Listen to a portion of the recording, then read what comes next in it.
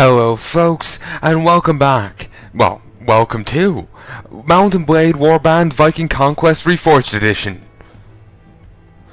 It was also winner of the longest video game name ever.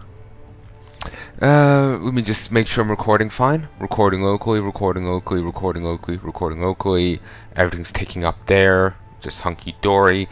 Uh, the game is actually on screen. The only things open are Steam, XSplit, and the game itself. So let's get in. And you can hear me just fine. Hopefully the audio level is fine. Uh, let me just show you what it's currently at. Uh, here it is. Oh, here it is. And also, I will be having... You know, uh, we'll be having the combat and campaign AI on average, damage to friends on normal, and damage to player on half. And we'll leave damage to friends on normal, yeah. So, yeah. We'll put it on them. I can adjust that will if needed. Um, we'll start new game. Regrettably, because this will piss off, I couldn't read that there. Here, let me go back um, and pause it one sec. Hey folks, let me make sure I'm actually recording again.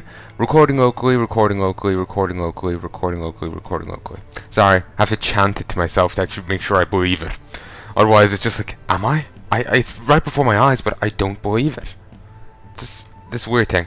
So, young men, build the future wisely upon. Ugh, you're going to have to pause it and read it yourself, much like myself. So, I am going to. Uh, I've been wanting to play do a let's play of Mount & Blade Warband for quite a while, and since I recently got the DLC Viking Conquest Reforged Edition, I figured, you know what, I'll do the storyline campaign, and then I'll uh, I may give a try of you know the sandbox here, but I'm thinking I'll go back and do a camp the sandbox in Warband normal. And I've also been working at a modded let's playthrough of Warband uh, Fantasy Calradia. Make sure. Actually, speaking that, Firefox is closed. Yeah, Firefox is closed. I'll go and do a let's play that because that seems interesting. Basically, it's Warband but with magic, like D and D stuff mixed in. So it's really cool. But anyway, recruitment. Beginner level, when you ask permission to recruit villages, the answer is always positive and without cost. Um, the beginner and hardcore options for the setting can't be disabled anymore after you click continue. Uh, at beginner level, leveling troops is easier. Budget, uh, beginner, wages of players' troops are reduced by 40%. Additional loot mounted monasteries and chance to capture ship are increased. I'm leaving them. I'm leaving them all on normal. Uh, damage to player and friends are on the easy setting. Actually, what's normal like? Okay, you're what? New. Uh, let's go with custom. Easy and easy. Just, let's leave it on the easy setting, not the easiest. I'm not great at this game. I'm okay. I've done actually pretty well for myself. Um, I don't think I have the saving here on this side. Um, on, like, I'm... I've done and played a fair bit of Warband. I don't know if the save from my Mac will transfer over here, but I've done pretty well for myself. Joined the Vaegirs, Vaegirs, uh, captured quite a few cities by myself. Actually, I ended up with a ton of troops. Um, good few Swadian knights and whatnot, defending my uh, peeps castles. Um, didn't end up with any cities. The Vaegir king refused to give me any, even though I was the one going out gathering vast majority of his territory. Kept giving them to everyone else. But would give me a key castle once in a while, so he could get away with not giving me an another town.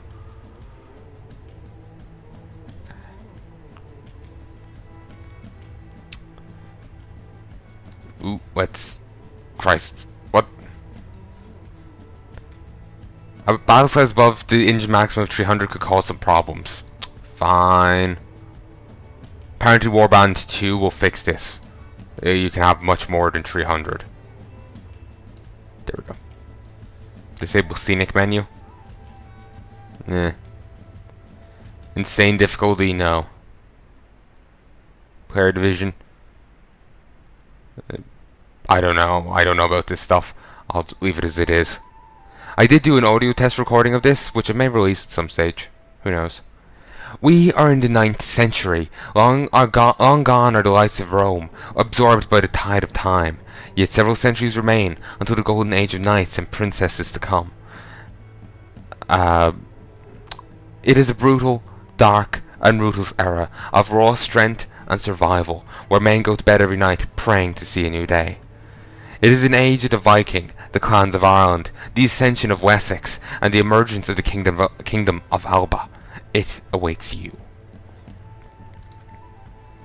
So, who are you? And then the these stats will affect your attributes, skills, dialogues, among other things. There is I've since I've learned one thing from my audio test. There is a quest early on as part of the campaign, so you have to do it. I don't know if there's any optional stuff, but you have to do this part. And it's easier if you can read. So I'm going to see if I can make myself a um, up in some way so I can be sure I can actually read.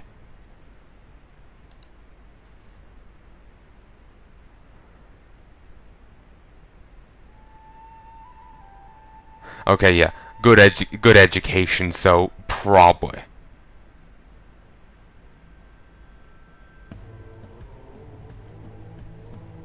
Uh, I also learned oratory.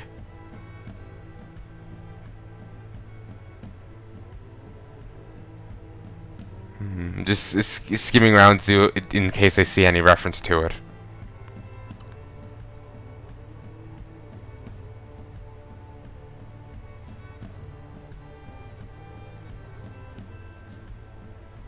No, I don't see it. Hmm.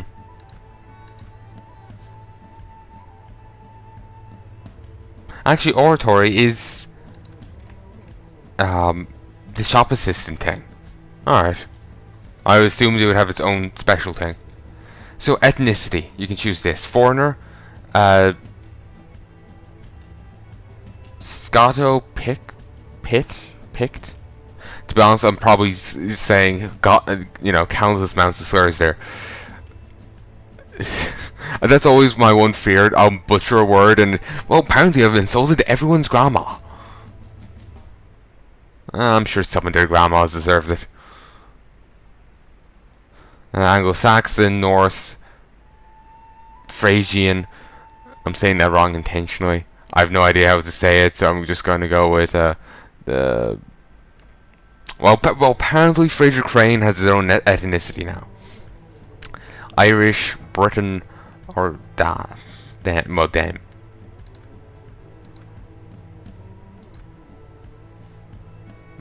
Might go with Irish. Eh, may as well. Uh, a male or female, we'll go with male, uh, normal. Eh, we'll go with young. I don't know how much of an effect I'll have on things.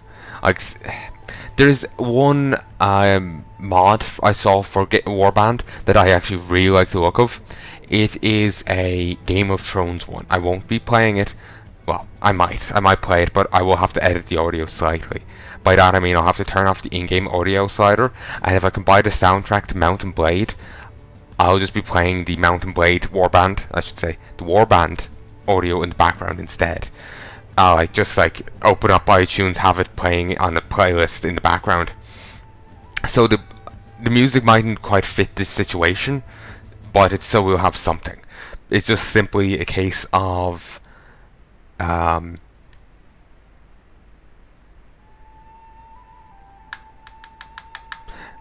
they they ha- since it's a Game of Thrones thing, they have the Game of Thrones team right at the start, and I don't want to mess with that. Like I've said in other things, I don't want to deal with legal shenanigans. Legal shenanigans scares me. So, uh, it's just like, let's not deal with it at all. If I need to, I will. Uh, I I was uploading Metro Last Light Redux videos before, and the amount of times people were challenging it, saying, oh, we own that content, but you're not Deep Silver. Like, come on, dude. You know, watch what you're claiming. Uh, and now here's the personality. There's phlegmic, melancholic, choleric, and sanguine. And here's the things over here. According to the four cardinal virtues... No, sorry, that's different. According to Galen's ancient temperaments, your personality is sanguine. Its, its element is air, and its Hippocrates humor is blood. It is associated with people who are optimistic, imaginative, create, artistic, cheerful, sociable, rational, and pleasure-seeking. These people are also often forgetful, impulsive, and unpredictable. To be honest, sanguine sounds much nicer when it's explained, because sanguine is associated with blood. In fact, that's what the word means. It's not just associated, like, its humor is not just blood, that's actually what the word itself means. Like, that's actually the meaning of the word sanguine. It also can mean sure. You're, well, I guess maybe you're bloody sure. Eh? Eh? Kind of reminded me there of, there was an Overwatch comic I saw before. Also, I'm thinking I will have to upload two parts each time, because just due to the way I play this game, but whatever. Um, during the audio test, uh, it took me 20 minutes to actually get into it, because I was going through each part. Just uh, obsessive there's an Overwatch comic. Um, it was had D.Va, uh, McCree, and o Soldier 76. Um, McCree was in between the two of them. Um, and yeah, he, he, was just like they're contesting a point, and he's like, you know, not on my watch. Um, and Soldier 76 like starts talking, but he's just looking at them. He's looking away for a moment. He's like, wait, don't you mean? And it has a quick panel where it cuts to D.Va. And it's like, oh god, here it comes. And then he looks at them, like, you know, with a finger gun just from one hand, his, uh, his left hand, pointing at McCree. Is like, uh, oh, also for that beat panel, McCree's just looking really confused. But anyway, back to the panel after that. So 76 is like, don't you mean not over your watch? and uh, D.Va face palms and McCree drops his cigar and just like in kind of a what the fuck kind of thing. It was hilarious. I would tell you what artist made that. Actually, also really like the art style for for it all, but well, mainly the first panel and the detail on Soldier 76. Um, but the first panel, for whatever reason, when I saw it, my mind started associating with Metal Gear Solid art, even though it doesn't exactly look like their stuff that's it could just be something about it, or that's just my mind at work. It um, it can associate things that don't actually have connections. Uh, recording locally, recording locally, recording locally, recording locally, recording locally, recording locally. Like I could see Keanu Reeves and think, oh, Harvey Dent. You know. Like I actually remember I was watching the movie Snowpiercer before, and for the first most of the movie. I didn't realize the main guy was Captain America. I thought it was Keanu Reeves. Or maybe I did realize it was Captain America, uh, but just realized, but just kept thinking, he looks so much like Keanu Reeves. I can't remember. I know afterwards I realized, oh, that's Cap. Or I knew it was Cap, but I thought it was. He just looked so much like Keanu Reeves for the first bit. He was wearing a hat, and, and like a top hat around, it's just a, like a woolen hat he put on. And he had a beard, uh, like a black beard, and he didn't really look like, you know, Captain America. So, yeah. Also, you know one thing with the Captain America movies? I, I love how everyone just brushes off the fact that... Actually, I feel kind of awkward, because it's been ages since I saw the first movie, so maybe, uh, uh like, someone's not... I, I vaguely remember parts of it, and people were pointing out how like weird one scene was, and I'm like, yeah, that is weird. But what if they're misconstruing the scene? You know, you know the scene after uh, a woman's making moves on Cap. Uh, Peggy sees it. She gets kind of upset, and then she opens fire on him when he first gets the shield and shows it to her. Yeah, I, I, as far as I remember, that's kind of forgotten how she. If that shield hadn't worked, she would have killed Captain America. out of jealous rage. Like, I love how that's kind of forgotten and brushed under the rug. Uh, hilarious. It just is. Uh, I'm, that's always in the back of my mind whenever they go on about like bring up, you know, his feelings for her. Just she came really close to killing him. Jesus would be murderer. Maybe I'm being a bit strong there, but it just I love how, and I'm being sarcastic with the love comment, just how quickly people are to forget that. Or maybe I'm just being too harsh on the character. I don't know. I need to sit down and watch that movie again. I've seen it straight away through, I do believe. But I really wasn't into it, so I wasn't really paying much attention to it. So it's just like, maybe I'm missing, maybe I'm forgetting or missing something. And I do understand how like people react poorly in love, they make stupid choices, but just because you're in love, it doesn't mean you don't bear the consequences of, you know, shooting at people. You know? Yeah. Um, real romantic here.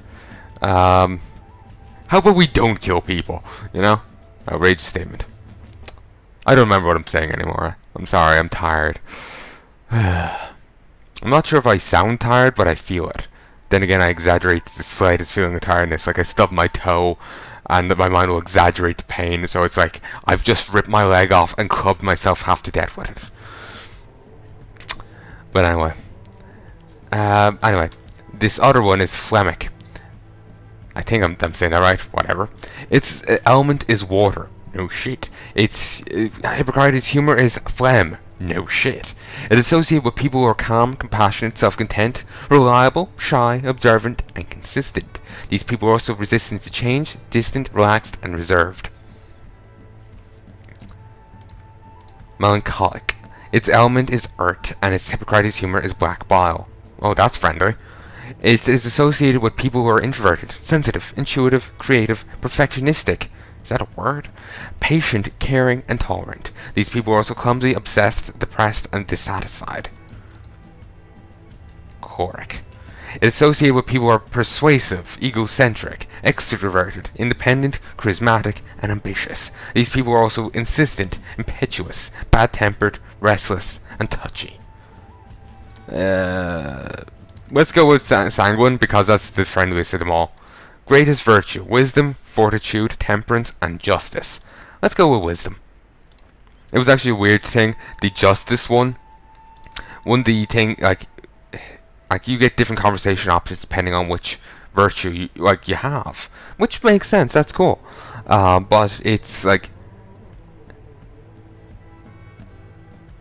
um, like the, you know the job that you have reading for, you can just choose to believe a person simply because they're a priest. It's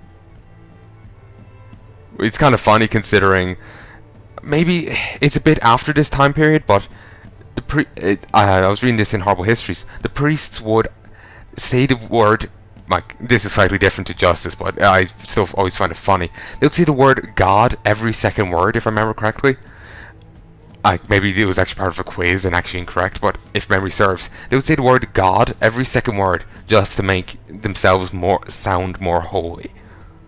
Yeah. They would also say if you did, did or didn't give them a bit of your land, they would kill you for it. One knight gave them a bit of land. By the time uh, they snuck in, killed him. By the time his relatives tur uh, turned up, there's a barn where his house used to be.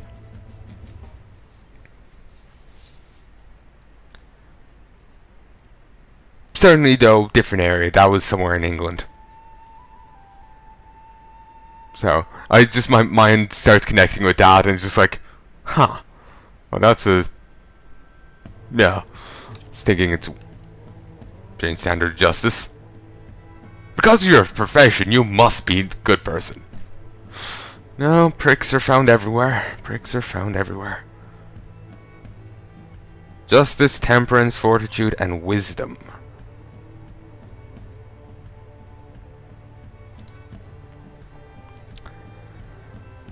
Okay, let's see what wisdom says. Um, also called prudence, it governs actions according to the dictate of reason in order to choose the right response to any situation. Wisdom implies the ability to judge in advance the probable consequences of one's actions.